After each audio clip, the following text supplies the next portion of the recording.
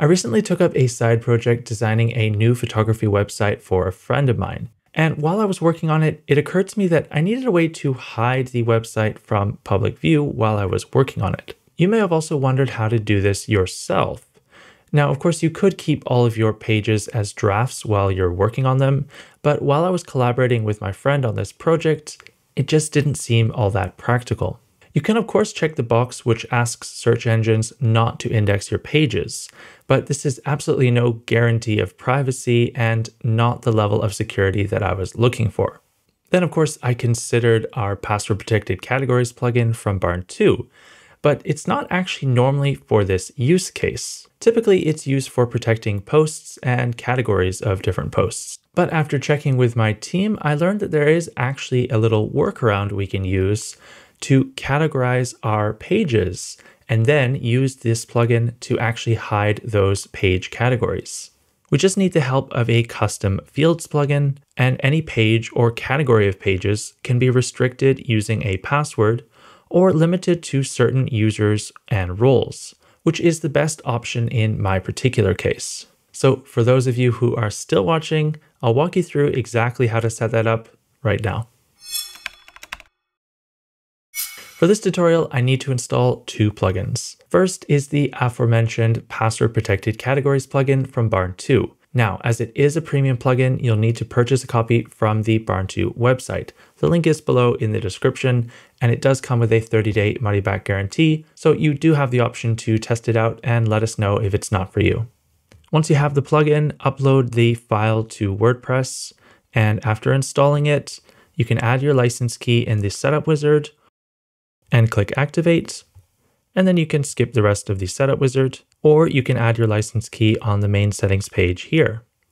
The second plugin is called Easy Post Types and Fields, but note that any custom post type plugin should work for this.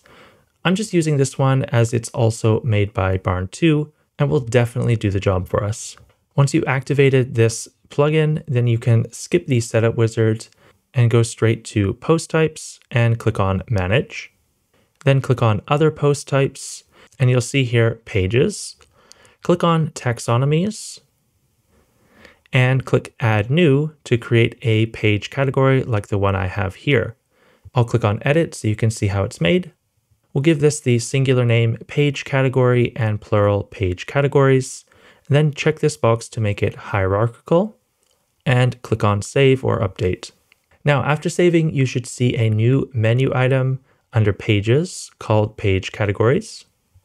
Here you can add a new page category and call it private so it's easy to identify.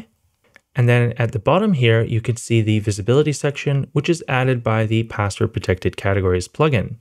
At the moment set to public, we can switch that to protected. Scroll down, and if we add password protection, we can enter a password or multiple passwords if we want to. Then we also have the option to add different user roles, such as the administrator. And we can add specific users, such as myself. If you have all of these checked, then all of these can be used to bypass the security. But if you only select one option, for example, then here only administrators will be able to access this page category. Then we'll click on Add New Page Category. Over here, we can see and edit this page category at any time. Scrolling down, we still have the same visibility options as before, which we can update at any time. The last step is to go to our WordPress pages and then categorize them. If you're doing this for all of your pages, I recommend using the bulk actions. Choose the page category we set up as private and click update. Now, don't forget to test the privacy of your setup. I recommend opening a new incognito window and entering your URL, your public facing URL, and checking that the security still applies.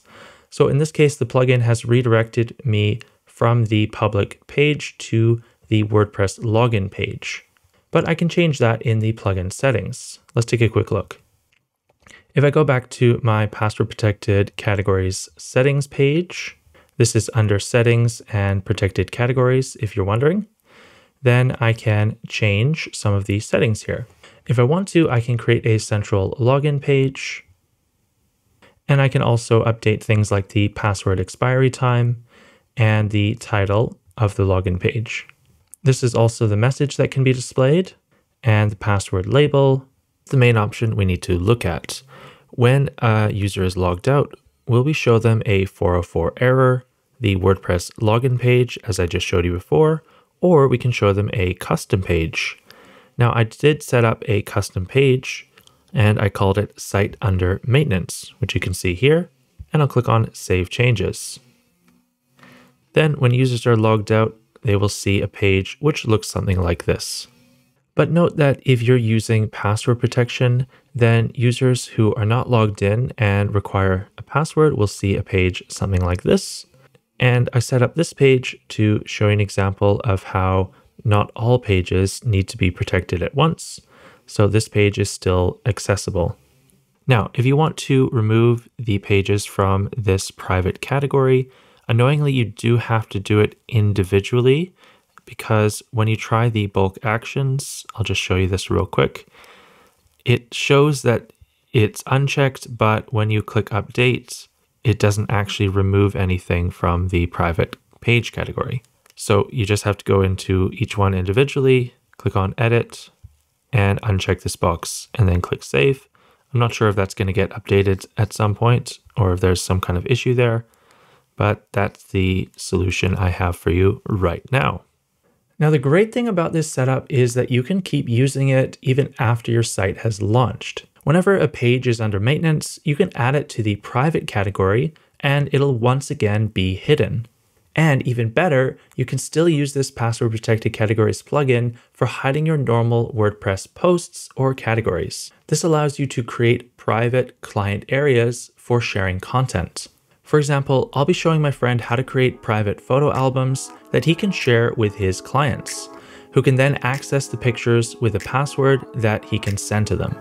If you would also like to learn how to do that, then watch this video next. And to get the plugin from today, try this link here.